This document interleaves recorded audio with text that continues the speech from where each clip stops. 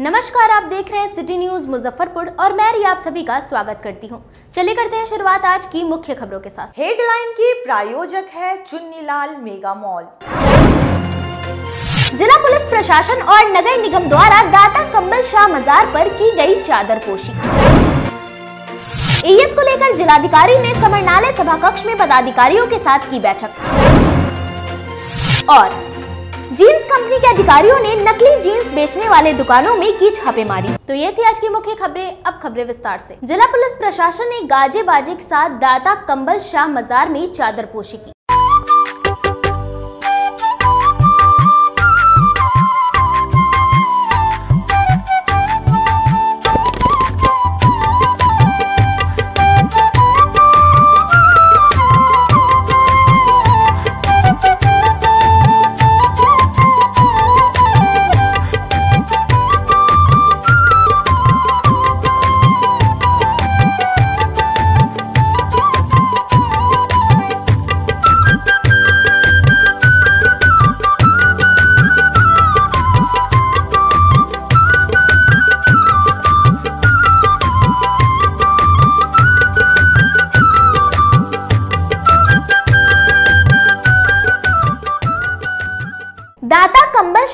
सालाना उर्स के मौके पर सरकारी चादर पोशी की रस्म अदा की गई।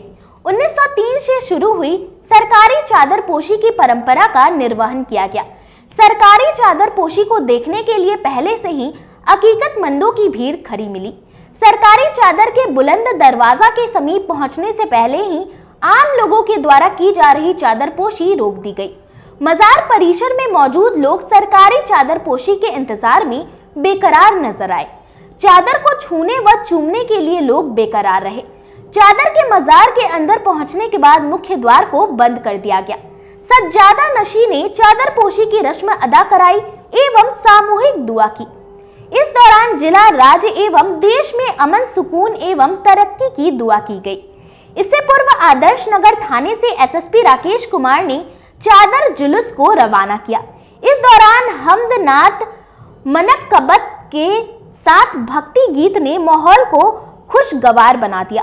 चादर पोशी में नगर डीएसपी राघव दयाल, डीएसपी पश्चिमी अभिषेक आनंद, नगर व अहियापुर थानेदार, जिला शांति समिति सदस्य पाले खान, डॉक्टर एम राजू नैयर, शहनवाज हुसैन उर्फ़ नौशाद, मोहम्मद इकबाल अहमद, केपी पप्पू आदि शामिल हुए। नगर थाना पुलिस की तरफ़ से और बाकी जितने भी हमारे समाज के लोग हैं, उन सबके सहयोग से बहुत पुराने समय से परंपरा चली आ रही है, जहाँ तक कंबल साहब के मजार पे चादर चढ़ाने की। आज उसी का आयोजन किया गया था। अभी नगर थाना से चादर निकली है और शाम तक जो है मजार पे पहुंचेगी। वहाँ पे मैं और डीएम साहब भी रहेंगे और वहाँ पे जो है चादर चढ़ाई जाएगी। मुजफ्फरपुर में नगर थाना क्षेत्र में दाता कमल शाह का मजार है। जिला में सभी लोग सुख शांति से रहें, अमन चैन, काम रहे, लोगों में समृद्धि बना रहे। मुजफ्फरपुर जिला में सभी लोग शांति से रहें, सुखपूर्वक रहें, इसी कामना के साथ उर्स के में, उर्स के समय में जिला पुलिस की तरफ़ से टाउन थाना से चादर निकलता है और ये चादर जाकर दादा कमल शाह के मजार पर चादर पोशी की जाती है। उसी क्रम में हम लोग चादर लेकर को बता दें कि ये नगर थाना टाउन मुजफ्फरपुर से पहली बार नहीं निकल रहा है।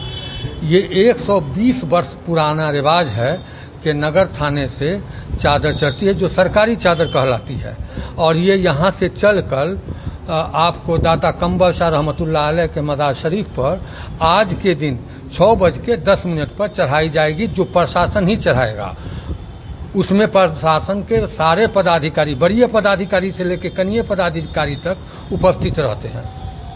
आखिर क्या वाक्या थी जो थाने, नगर थाने के द्वारा 120 वर्ष से चला चलाया गया? देखिए, इसमें, इसके लिए आपको समय देना होगा।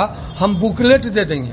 उस बुकलेट को आप पढ़िएगा तो पूरी कहानी समझ में आएगी कि ब्रिटिश गवर्नमेंट में क्या हादसा हुआ, और ब्रिटिश गवर्नमेंट ने शुरुआत इसकी की और उसके बाद ये परंपरा वहाँ से चल पड़ी, जो आज तक चल रही है। नगर निगम प्रशासन द्वारा दाता कंबल शाह मजार पर चादर पोशी की गई। हज़रत दाता कंबल शाह रहमतुल्लाह अलह के पक्की सराय स्थित मजार शरीफ पर बुधवार को नगर निगम की ओर से सरकारी चादर पोशी की गई।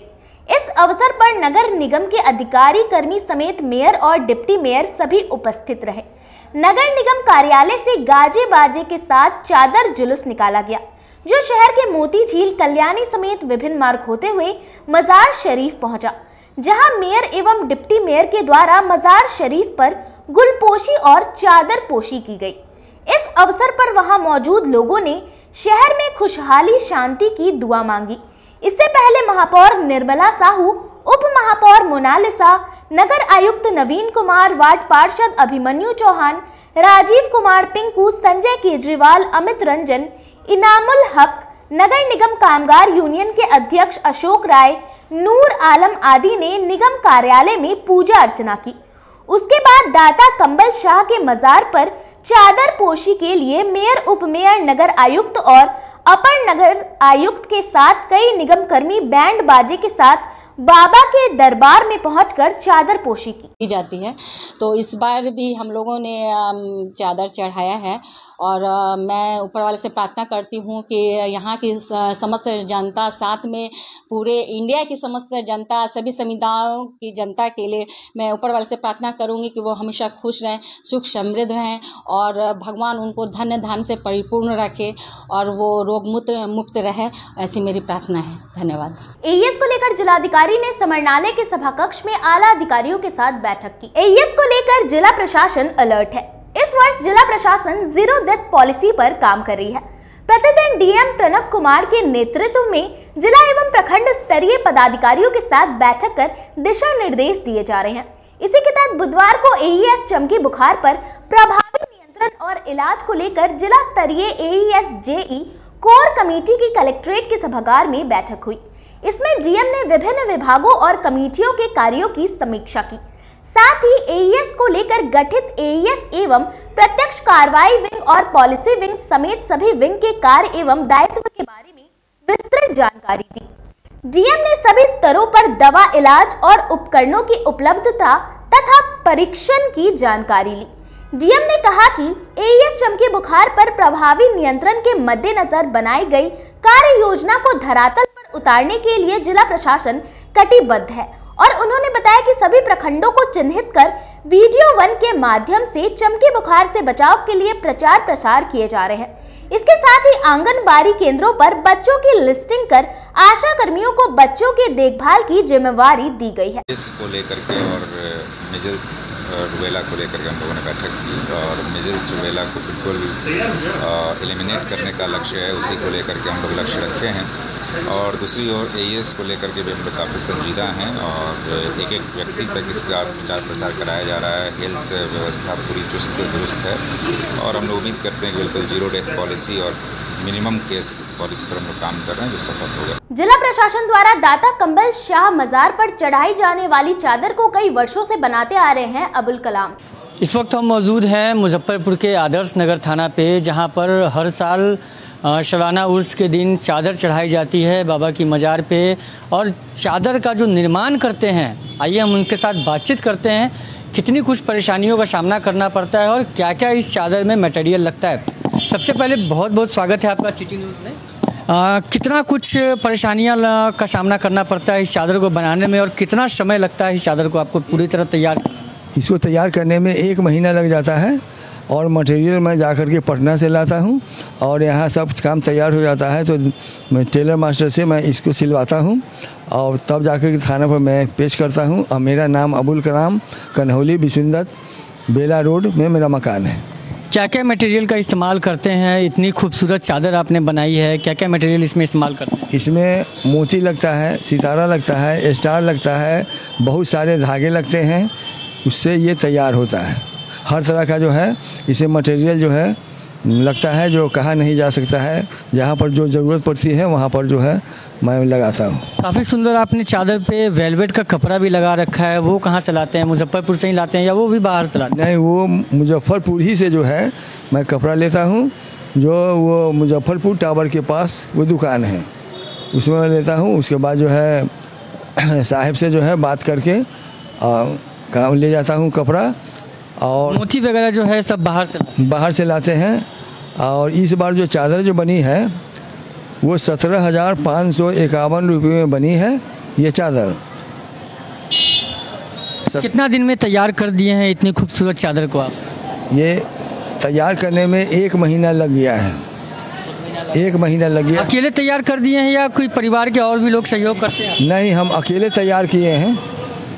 हम खुद चादर जो है ना मज़ार शरीफ के चादर स्पेशलिस्ट है और इतना ही नहीं वो मुजफ्फरपुर पुरानी बाज़ार जो है दाता ये दाता मुजफ्फर शाह की भी मैं उसमें चादर बनाता हूँ और मुजफ्फरपुर में जितनी भी जो है चादर अजमेर जाती है उसका भी मैं काम करता हूँ और बाहर बाहर से अच्छा, अजमेर तक आपकी चादर जाती है यहाँ से? हाँ यहाँ से अजमेर तक के जाती है। जिला खाजा चादर कमेटी के ऊर से जो जाती है वो मैं ही बनाता हूँ। वैसे मैं भागलपुर से भी लोग आते हैं चादर बनवाने मुंगेर से भी आते हैं चादर बनवाने। और जिसको दिल करता है वो हमसे चादर बनवा कर ही ले जाते हैं। कितने सालों से चादर आप बनाते आ रहे हैं? लगभग पचास पचपन वर्षों से ये मैं चादर का काम करता हूँ। सिटी न्यूज़ से बात करने के लिए बहुत बहुत धन्यवाद। आपका, आप सुन रहे थे चादर ये बनाते हैं, लगभग 50 सालों से जो चादर बनाते हैं, नगर थाना पे हर साल जो चादर पोशी की जाती है, वो इनके द्वारा ही चादर बनाई जाती है। जैसा कि इन्होंने बताया कि चादर को बनाने के लिए कई तरह के सामान है जो यहाँ मुजफ्फरपुर से भी लाते हैं और कई कई तरह के सामान जो है, चादर में जो इस्तेमाल होता है, वो बाहर से भी लाते हैं ये। इनकी चादर की डिमांड जो है अजमेर शरीफ, यानी कि अजमेर शरीफ दिल्ली, वहाँ तक इनकी चादर की डिमांड है। तब तक के लिए आप बने रहिए सिटी न्यूज़ के साथ। मैं अपने सहयोगी रोशन के साथ विकास गोस्वामी, मुजफ्फरपुर। नासिक में चाकू गोद कर मार दिए गए गुलाम रब्बानी का शव गाँव में जैसे ही पहुँचा, पूरे इलाके में मातम छा गया। ज़िले के एक युवक की महाराष्ट्र के नासिक में हत्या कर देने का मामला सामने आया है, जिसके बाद मृतक के गाँव में मातम पसर गया है। मृतक गुलाम रब्बानी नासिक में पंचर की दुकान चलाता था, जहाँ उसकी हत्या कर दी गई है। सकरा थाना क्षेत्र के रूपन पट्टी गाँव के अनवर अली का 25 वर्षीय बेटा गुलाम रब्बानी नासिक में रहता था, जहाँ उसकी पंचर की दुकान थी। अचानक सूचना मिली कि 29 अप्रैल को कुछ लोगों ने गुलाम की चाकू मारकर हत्या कर दी है। परिवार के लोगों का कहना है कि गुलाम की किसी से दुश्मनी नहीं थी।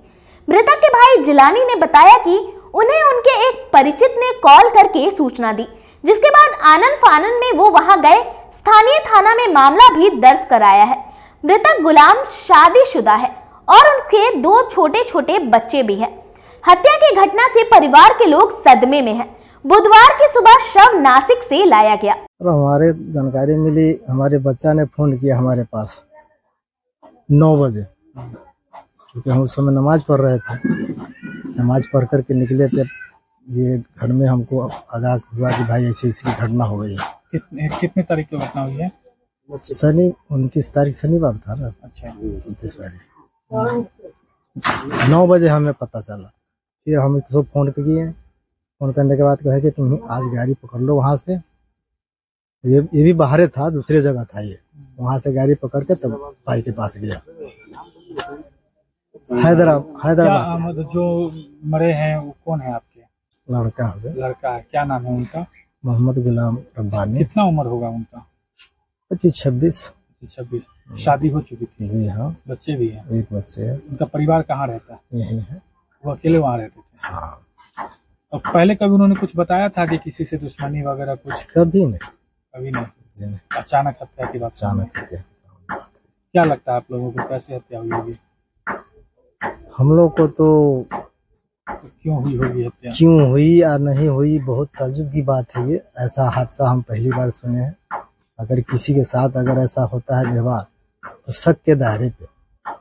यही लोग लोग कहता है कि भाई दुश्मनी से मारा एक और व्यक्ति नशा खुरानी गिरोह का शिकार बन गया। अखारा घाट रोड में बेहोशी की हालत में मिला। मुजफ्फरपुर में इन दिनों नशा खुरानी गिरोह का आतंक दिन प्रतिदिन बढ़ता ही जा रहा है। ताज़ा मामला नगर थाना क्षेत्र के जीडी मदर के समीप का है।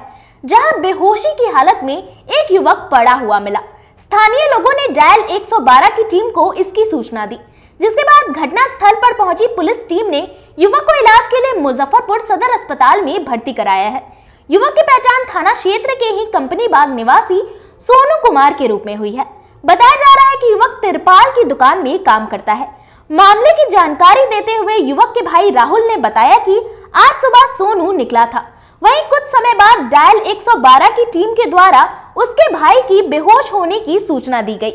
इसके बाद आनंद फानन में सदर अस्पताल में पहुँचा जहाँ उसके भाई का इलाज चल रहा है। पुलिस के द्वारा मिला। पुलिस के द्वारा मिला। कौन से थाना की पुलिस? नगर थाने की पुलिस। 112 नहीं है 112 से 112 अस्पताल पहुँचा दिए। जी। कहाँ पर मिले थे? बताया तो गया जीडी बाज़ार के पास। जीडी मदर के पास? जी।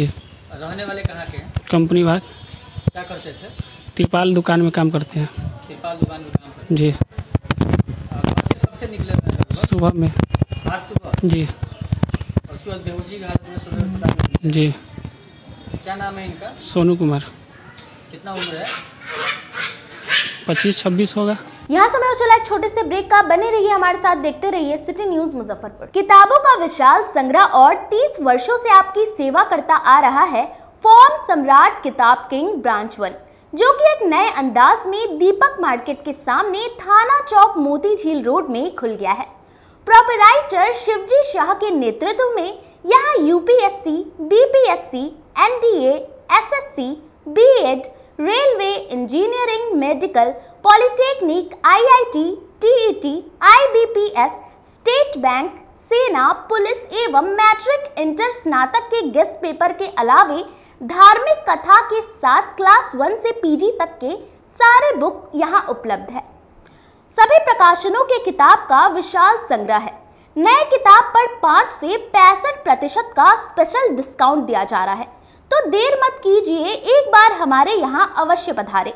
हमारा पता है फॉर्म सम्राट किताब king branch one, Deepak market के सामने मोती झील रोड और दूसरा ब्रांच अघोरिया बाज़ार, Ramdayalu road, Zenith petrol pump के बगल में।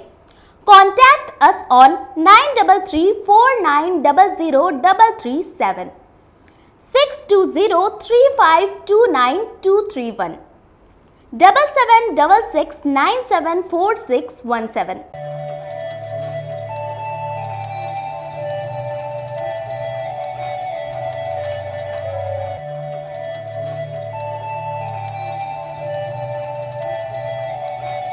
बाज़ार से सस्ता, सबसे अच्छा चुन्नी लाल मेगा मॉल, मुजफ्फरपुर में भी धूम मचाने के लिए आ गया है। शादी विवाह के लिए है लहंगे की सबसे बड़ी कलेक्शन। दुल्हन के मन को भाए यहाँ की ब्राइडल लहंगा चुन्नी। हम सभी का ख्याल रखते हुए परिधानों की पूरी रेंज एक ही छत के नीचे उतारे हैं। वो भी आपके बजट में। मल्टीनेशनल ब्रांड से लेकर लो रेंज तक के ब्रांडों की बेहतरीन कलेक्शन के साथ साड़ियों का अनंत संसार समेटे हुए हैं। दूल्हे राजा के लिए भी सूट और शेरवानी की लाजवाब रेंज मेंस वेयर की भी ब्रांडेड कलेक्शन के साथ लो रेंज की भी है भरमार। बच्चों का भी हमने ख्याल रखा है। इसलिए सभी ब्रांडों का रेंज उतारा है। तो एक बार हमारे यहाँ अवश्य पधारे। Chunni Lal mega mall Saraiyaganj tower के समीप अखाड़ा घाट रोड मुजफ्फरपुर। बच्चों का हमारे यहाँ आपको ढाई सौ रुपये से स्टार्टिंग होगा। कुर्ती अगर सेट में लीजिएगा तो पाँच सौ रुपये से स्टार्टिंग हो जाएगा। प्लाजो सेट हाईएस्ट आप चले जाइए तीन हज़ार चार हज़ार दस हज़ार तक भी मिलेगा आपको बनारसी से। ढाई सौ रुपये से सारी स्टार्टिंग हो जाएगा हमारे यहाँ। आपको चालीस हज़ार तक चला जाएगी। अपने सपनों की आशिया को दे एक नई पहचान माँ भवानी डेकोर प्राइवेट लिमिटेड के साथ जो है ऑथोराइज डिस्ट्रीब्यूटर ऑफ़ कचारिया देश की मिट्टी से बनी टाइल से देश को बनाते हैं। और जहाँ मिलती है सभी प्रकार के Indian and imported granite marble sanitary एवं कोटा स्टोन का अनोखा एवं आकर्षक संग्रह। माँ भवानी डेकोर प्राइवेट लिमिटेड मतलब a complete floor solutions new zero mile Dadar road Muzaffarpur call double nine three four seven five three triple one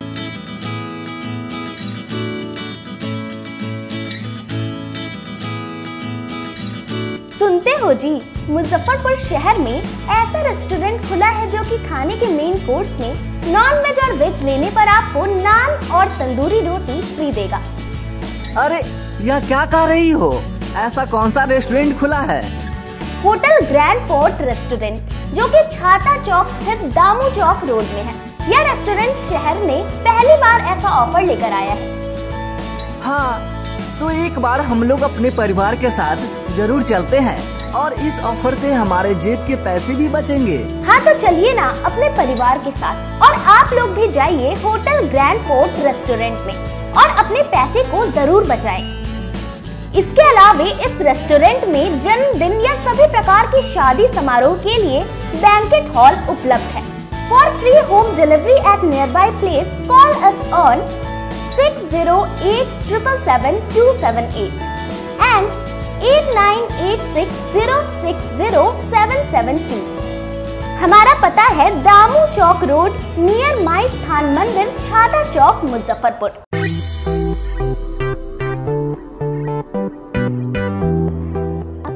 स्वाद से लोगों में विश्वास बना चुका सरैयागंज स्थित भगवान भोजनालय, आप लोगों की डिमांड पर अब नए अंदाज में धमाका मचाने आ गया है। श्री रघुनाथ महाराज के प्रतिष्ठान भारत जलपान की सेवा अब उन्हीं के प्रतिष्ठान भगवान भोजनालय में दी जा रही है। मसाला डोसा, छोले भटूरे, पाव भाजी के साथ साथ मिठाई की सभी रेंज उपलब्ध है। इसके अलावे खाने और नाश्ते का भी उत्तम प्रबंध है। अत्याधुनिक बैठने की व्यवस्था के साथ साथ साफ़ सफ़ाई का भी ख्याल रखा गया है। बर्थडे पार्टी हो या स्मॉल पार्टी हो या शादी समारोह हो, सभी के मिठाई और पनीर का ऑर्डर भी लिया जाता है। तो एक बार हमारे यहाँ अवश्य पधारें। भगवान भोजनालय, सरैयागंज नव युवक समिति के समीप। हमारा मोबाइल नंबर है nine eight two nine double one double zero double zero. Break के बाद आप तमाम दर्शकों का एक बार फिर से स्वागत है। चलिए रुक करते हैं अन्य खबरों की ओर। टॉफी खरीदने पहुँचे दुकान पर बदमाश, लूट लिए दुकानदार के गहने और कैश। ज़िले में सदर थाना क्षेत्र के सहजानंद कॉलोनी में बाइक सवार अपराधियों ने एक किराना दुकान पर टॉफी खरीदने के बहाने पहुँचे और फिर कर ली लूटपाट। मामले की जानकारी देते हुए पीड़िता चंद्रकला देवी ने बताया कि उनका किराने की दुकान है। बेटा खाना खाने गया था। इसी दौरान वो दुकान पर बैठ गई थी। तभी एक बाइक से दो युवक आए और बोले, टॉफी लेनी है। जब मैं पीछे घूमी, तब तक दुकान के अंदर प्रवेश कर गए और गले से सोने की चैन और काउंटर में रखे कैश लेकर भाग निकले। वहीं दूसरा अपराधी चिल्लाने पर बोला कि, गोली मार दो? तो मैं डर कर चुप हो गई। तब तक दोनों फरार हो गए। इस घटना के बाद पूरे इलाके में हड़कंप मच गई है। वहीं अपराधियों की पूरी करतूत सीसीटीवी में कैद हो गई है। सूचना के बाद मौके पर पहुँची सदर थाना पुलिस जाँच पड़ताल में जुट गई है। आया है सेंटर प्रेस मांगा और हम सेंटर प्रेस दिए। और तो कहा कि सेंटर फ्रूट दीजिए। फिर हम सेंटर फ्रूट उसको दिए। फिर सेंटर फ्रूट दे करके हम यहाँ पर बैठे हुए थे हमको यहाँ धक्का मार के गिरा दिया। गिरा करके कैश दो हज़ार रुपया लिया। उसके बाद क्या किया कि चैन पहले चैन छीना। उसके बाद कैश जो दो हज़ार रुपया था वो ले लिया। लेकर के भागा। हम हम- जब उठे हम लगे थे तब तक यहाँ गिर गया। गिर कर फिर उठ करके उठ करके वहाँ रोड पर चला गया। हम दौड़ते हुए गए लेकिन कोई जनता उसको पकड़ा नहीं। वो चला गया। कितने के संग, कितने आदमी थे? दो था एक उजले कपड़े पहने हुए थे एक लाल कपड़े पहने लाल कपड़ा वाला चोरी किया हम्म। वो लेकर भागा और उजला कपड़ा पहन करके उधर में घूमे हुए था अपाची अ, था उस अच्छा। पर बैठा हम्म। बैठा उसके पास फरार हो गया हम उसको नहीं पकड़ कितने बजे की घटना है? छह बज के कुछ मिनट है। क्या नाम है आपका? चंद्रकला। यहाँ क्या आपका किराना दुकान है? जी। कौन सा जगह है? जींस कंपनी के अधिकारियों ने नकली जींस बेच रहे दुकानों पर पुलिस के साथ छापेमारी की। शहर में ब्रांडेड जींस के नाम पर फर्जीवाड़ा सामने आया है। शहर में पुलिस के सहयोग से कपड़े की दुकान पर कार्रवाई की गई है। गूगल शॉपी नामक दुकान से डुप्लीकेट स्पार्की की जींस बरामद की गई है। दिल्ली से आई कंपनी के ब्रांड प्रोटेक्शन की टीम ने पुलिस के सहयोग से इस दुकान में छापेमारी की। तो वहाँ से नकली जींस बरामद की गई। वहीं पुलिस ने दुकानदार को तत्काल हिरासत में ले लिया है। आरोप है कि यह दुकानदार 300 से 400 रुपए की जींस को ब्रांडेड बताकर ग्राहकों को हज़ारों रुपए में बेचा करता था। छापेमारी के लिए दिल्ली से पहुँचे ब्रांड प्रोटेक्शन के परविंद्र सिंह ने बताया कि सूचना दी गई थी कि स्पार्की के नाम पर डुप्लीकेट जींस ग्राहकों को बेची जा रही है, जिसके बाद स्थानीय थाना के सहयोग से छापेमारी की गई और कई डुप्लीकेट जींस बरामद की गई। अभी हम लोग गए थे इसमें जाँच चल रहा है। जाँच के बाद जो आएगा सामने बात उस पर होगा। कंपनी वाला क्या आरोप लगाया है? अभी कंपनी वाला जाँच कर रहा है। मैंने क्या आरोप लगा के आवेदन दिया है? अभी आवेदन नहीं दिया है। अभी आवेदन नहीं दिया है। कपड़ा भी वहाँ से पकड़ के? हाँ कुछ कपड़ा आया है वो अपना जाँच कर रहा है। उसका जैसे होगा उस तरह का आवेदन देगा तो कार्रवाई होगा। हमारी जो इन्वेस्टिगेशन टीम है उन्होंने सूचना दी थी कि कुछ दुकानदार नकली माल बेच रहे हैं स्पार्की का। जी। उस संदर्भ में आज हमने छापामारी की है। एक दुकान से कुछ माल बरामद हुआ है। अभी आगे बातचीत चल रही है। देखते हैं क्या हो पाता है। लगभग कितने की संख्या में जींस बरामद हुई है कुछ भी नहीं कोई खास नहीं हुई। बहुत बड़ा माल नहीं हुआ। दस बारह हज़ार का माल मिला है। अच्छा ये जो ये जो डुप्लीकेट माल बेचने से क्या नुकसान होती है कंपनी को? सर कंपनी का नुकसान में कंपनी की रेपुटेशन खराब होती है। जीएसटी का नुकसान होता है। सब नुकसान होता है। दुकानदार है कौन और कहाँ पर किस नाम से दुकान है? कोई बात नहीं अभी रुकी है उस बारे में हम आपको सारी डिटेल देंगे। पहले कार्रवाई हो लेने दीजिए फिर आपको पूरी डिटेल दी जाएगी। जो सामान आपने जब्त किया है वो किसी एक कंपनी का है या एक ही कंपनी का पार्की का? जींस का आगे इसमें आप लोग क्या कर रहे हैं? अभी थाना में आएँगे आप देखते हैं क्या हो पाएगा। जो भी मैक्सिमम कार्रवाई होगी वो की जाएगी। कानूनी कार्रवाई करेंगे एफआईआर वगैरह करेंगे? पूरी कोशिश रहेगी। अगर वो नहीं समझ पाएँगे अगर वो कोई अपना वाजिब एक्सक्यूज दे पाएँगे तो फिर देखा जाएगा, नहीं दे पाएँगे तो फिर उन पर कार्रवाई की जाएगी। रामदियालो स्टेशन के समीप हुई घटना में पीड़ित परिवारों से मिलने पहुँची डिप्टी मेयर डॉक्टर मोनालिसा। मृतक के परिजनों से मिलने पहुँची डिप्टी मेयर। सदर थाना क्षेत्र के रामदयालु में सोमवार की देर रात अचानक एक घर में आग लग गई। इससे एक ही परिवार के चार बच्चियों की जलकर मौत हो गई। वहीं छह लोग जख्मी हैं, जिनका इलाज एसकेएमसीएच में चल रहा है। इस घटना से राजनेता से लेकर समाज सेवी तक काफ़ी दुखी हैं। और सभी लोगों के द्वारा पीड़ित परिवार की मदद की जा रही है। इसी के तहत आज डिप्टी मेयर डॉक्टर मोनालिसा और वार्ड पार्षद ने पीड़ित परिवार से मिलकर हालचाल जाना और उनकी मदद की। इस अवसर पर वार्ड पार्षदों के द्वारा खाने पीने के सामान के साथ साथ आर्थिक मदद भी की गई। इस दौरान डिप्टी मेयर डॉक्टर मोनालिसा ने बताया कि नगर निगम की ओर से पानी के टैंकर और खाने पीने की व्यवस्था की गई है। वहीं घायल व्यक्तियों पर नगर निगम नज़र बनाए रखी है। सभी लोगों का इलाज एसकेएमसीएच में चल रहा है। पीड़ित परिवार को हर तरह की मदद की जाएगी। स्वास्थ्य कर्मी डॉक्टर उपेंद्र चौधरी के सेवा निवृत्त होने पर कर्मचारियों ने विदाई दी। जिला अभिरक्षा पदाधिकारी डॉक्टर उपेंद्र चौधरी के सेवानिवृत्त होने पर बुधवार को सदर अस्पताल में उनके सम्मान में विदाई समारोह, सह सम्मान समारोह का आयोजन किया गया। इस विदाई समारोह में सदर अस्पताल के सिविल सर्जन समेत सभी डॉक्टर व पदाधिकारी शामिल रहे। इस दौरान डॉक्टर उपेंद्र चौधरी को माला पहनाकर एवं शॉल ओढ़ाकर सम्मानित किया गया। सभी लोगों ने उनके उज्जवल भविष्य की कामना की।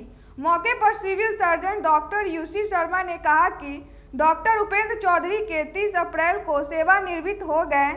उस डॉक्टर उपेंद्र चौधरी हमारे कलीग थे, यहाँ जिला रक्षा पदाधिकारी के प्रभार में थे। तीस तारीख को इनका सेवानिवृत्ति हो गया, उस दिन रविवार था। तो आज, सब लोग इकट्ठा हुए थे, इनकी आज विदाई सा स्वागत समारोह किया गया है। और इनका एक्सटेंशन के लिए भी विभाग को गया हुआ है। आगे तीन साल के लिए एक्सटेंशन का प्रोविज़न है, सड़सठ पर रिटायरमेंट है, सत्तर तक है एक्सटेंशन का। मुझे भरोसा है कि एक्सटेंशन वाला भी एक आध हफ़्ते के अंदर में चिट्ठी आ जानी चाहिए। पैंतीस साल स्वास्थ्य विभाग में सेवा करने के बाद हम सेवानिवृत्त हो रहे हैं। अपने कार्य से हम बहुत संतुष्ट हैं और थ्रू आउट लोगों का बहुत ही स्नेह और प्यार मिला। कैसा लग रहा है सर? आज इतना दिन काम करने के बाद आज सर सेवानिवृत्त हो रहे हैं। अच्छा काम करने के बाद अगर आप सेवानिवृत्त होते हैं तो सेंस ऑफ़ सेटिस्फेक्शन होता है। मनियारी थाना क्षेत्र के चकी भक्की गाँव की रहने वाली महिला ने एसएसपी को ज्ञापन देकर न्याय की गुहार लगाई। मनियारी थाना क्षेत्र के चकविखी निवासी सोनिया देवी ने बुधवार को एसएसपी को आवेदन देकर न्याय की गुहार लगाई है। उन्होंने एसएसपी को आवेदन देकर उनके साथ मारपीट करने वाले लोगों के गिरफ्तारी की मांग की है। गौरतलब है कि 30 अप्रैल को सोनिया देवी का गाय खुलकर जगन्नाथ राय के दरवाजे पर जाकर गेहूँ खाने लगी। इससे गुस्सा होकर जगन्नाथ राय, प्रमोद राय, गजेंद्र राय समेत पूरा परिवार लाठी डंडे से लैस होकर सोनिया देवी की पिटाई कर दी। इसमें सोनिया देवी नीरज कुमार बुरी तरह घायल हो गए। इस मामले में मनियारी थाना में आवेदन देकर जगन्नाथ राय समेत पूरा परिवार पर मारपीट की प्राथमिकी दर्ज कराई गई है। लेकिन अब तक उन लोगों की गिरफ्तारी नहीं हुई है। इससे नाराज़ सोनिया देवी ने एसएसपी से मिलकर सभी आरोपियों के गिरफ्तारी की मांग की है। और से भेज कर पहले सब, कहता सब बहुत साल भर से जे मारेंगे मारेंगे सब तरह। सब मिल कर एक बगल से प्रमोद राय गजिंदा राय पटक का ईटा से कपार फोड़ कितने सालों से आपके साथ है साल भर से। इससे पहले कहीं पे आवेदन दिए मिले? हाँ थाना में दिल रहा कोर्टो में दिल रहा। क्या बोले थाने वाले? कोई कोई कार्रवाई ना। आज किनसे मिलने आए? आई एस पी साहब से मिलने आए। क्या बोले एस पी साहब एस पी साहब बोले कि जाइए कार्रवाई होगा। जी हम हमने तीस तारीख को घर पे ही थे हमारे साथ मारपीट किया गया पड़ोसी के द्वारा और और तीस तारीख को हम शाम में सात बजे थाना में मंडरी थाना क्षेत्र में आवेदन दिए मंडरी में। वहाँ पे आवेदन देने के बाद हमारा एक तारीख की डेट में एफआईआर दर्ज किया गया लेकिन अभी तो कोई कार्रवाई नहीं हुआ है। क्या हुआ आपके साथ? जी मारपीट किया गया है माँ का सर फटा हुआ है पापा का पीठ पे चाकू लगा हुआ है। किस लिए आपके साथ मारपीट हुआ? है जी जगन्नाथ राय जगन्नाथ राय और प्रमोद राय और गजेंद्र राय और सुधांशु कुमार। हैं ये सब पड़ोसी ही हैं। किस लिए आपको मारे जी उनके दरवाजे पे हमारा गाय खुल के चला गया था उनका गेहूँ खा गया था इसी कारण। नए वकालत खाना में भारतीय समर्थक पार्टी के प्रदेश अध्यक्ष ने पार्टी के विस्तार को लेकर कार्य समिति की बैठक की। भारतीय सार्थक पार्टी के प्रदेश अध्यक्ष सुधीर कुमार ओझा की ओर से बुधवार को नया वकालत खाना चैम्बर के नंबर अड़सठ में पार्टी के कार्यकारिणी की बैठक बुलाई गई। इसमें राष्ट्रीय अध्यक्ष रामेश्वर कुमार महतो उर्फ़ पप्पू चौहान के निर्देशानुसार प्रदेश संगठन का विस्तार किया गया। इसमें प्रदेश अध्यक्ष सुधीर कुमार ओझा ने कहा कि हमारी पार्टी कार्यकर्ताओं की पार्टी होगी। हमारी पार्टी 40 प्रतिशत आबादी वाले अति पिछड़ा समाज के हक और हुकूक के लिए संघर्ष करेगी। साथ ही बिहार प्रदेश के संगठन में 90 प्रतिशत अति पिछड़ों को जगह दी गई है और 2024 के लोकसभा चुनाव में हमारी पार्टी 90 प्रतिशत हिस्सेदारी अति पिछड़ों को देने के लिए कृत संकल्पित है, जो आने वाले समय में पता चलेगा। वहीं सुधीर कुमार ओझा ने संगठन की घोषणा करते हुए बताया कि बिहार प्रदेश का संगठन बन चुका है, जिसमें पाँच प्रदेश उपाध्यक्ष, तीन महासचिव, तीन सचिव एवं चंदन कुमार को युवा प्रकोष्ठ, राजू कुमार चौधरी को किसान प्रकोष्ठ लक्ष्मी कुमार चौहान को महिला प्रकोष्ठ का प्रदेश अध्यक्ष बनाने के साथ साथ सभी जिलों के जिला अध्यक्षों एवं महानगर अध्यक्षों का भी गठन कर लिया गया है जिसकी सूची प्रदेश अध्यक्ष के द्वारा जारी की गई है। जी बताएँ आज के आज का प्रेस कॉन्फ्रेंस का मुख्य मुद्दा है कि भारतीय सार्थक पार्टी के राष्ट्रीय अध्यक्ष माननीय रामेश्वर कुमार उर्फ़ पप्पू महतो चौहान जी के द्वारा मुझे बिहार प्रदेश का अध्यक्ष नियुक्त किया गया और साथ ही निर्देश दिया गया कि जल्द से जल्द संगठन का विस्तार कर और इनको सूची सौंप दें। तो आज हमने जो प्रेस वार्ता के लिए बुलाया आप लोगों को, उसमें पूरे बिहार में, सभी जिलों में जिला अध्यक्ष का हमने घोषणा कर दिया है, जिसकी सूची आप लोग को देंगे। इसके साथ ही प्रदेश कमेटी में पाँच प्रदेश उपाध्यक्ष के साथ साथ तीन महासचिव और पाँच सचिव के साथ साथ प्रकोष्ठ के अध्यक्षों की भी घोषणा आज मैं कर रहा हूँ, जिसमें चंदन कुमार को युवा प्रकोष्ठ, राजू कुमार चौधरी किसान प्रकोष्ठ, लक्ष्मी कुमारी चौहान महिला प्रकोष्ठ के अध्यक्ष बनाई गई है। सबसे महत्वपूर्ण बात यह है कि हम लोग के पार्टी का यह सोच है कि नुनिया बिंद बेलदार के साथ अति पिछड़ों को अधिक से अधिक भागीदारी देना। तो मैं बता दूँ कि जो मैं संगठन का विस्तार किया हूँ, जो सूची मैं आपके सामने रख रहा हूँ, उसमें 90 प्रतिशत अति पिछड़ों को संगठन में भागीदारी हमने दी है। आगे आने वाले चुनाव में भी हम लोग का यही सोच है कि अधिक से अधिक भागीदारी उनको लोकसभा और विधानसभा में हम लोग देंगे, और इसके साथ ही पार्टी का कार्यक्रम पूरे बिहार में, हर जिला में दौरा होगा। और प्रदूषण नियंत्रण को लेकर जिलाधिकारी ने समरनालय सभा कक्ष में ज़िले के संबंधित पदाधिकारियों के साथ अहम बैठक की। प्रदूषण नियंत्रण को लेकर बुधवार को कलेक्ट्रेट के सभागार में डीएम की अध्यक्षता में संबंधित पदाधिकारियों की बैठक की गई। इसमें पदाधिकारियों को कई आवश्यक निर्देश दिए गए। इस बैठक में नगर आयुक्त सहित डीटीओ आरजेसीडी कार्यपालक अभियंता तथा अन्य पदाधिकारी गण उपस्थित थे। इसके अलावा कुछ इंडस्ट्रियल संस्था की जाँच कर क्लोज डायरेक्शन भी दिया गया। साथ ही उनके विरुद्ध सख्त कार्रवाई की गई। आरसीडी अभियंता को प्लग एंड के साथ फेवर ब्लॉक लगाने का निर्देश दिया गया। पेट्रोल पंप पर प्रदूषण नियंत्रण जाँच केंद्र को कार्यशील करने का भी निर्देश दिया गया। ऑटो परिचालन का रूट एवं किराया निर्धारण करने का निवेश दिया गया। इस अवसर पर जिला परिवहन पदाधिकारी को नियमित रूप से लगातार अभियान चलाने का निर्देश मिला। इससे ओवरलोडिंग प्रदूषण में कमी आ सके। वही होटल और हॉस्पिटल की अपनी निजी व, पार्किंग व्यवस्था सुनिश्चित करने को कहा गया।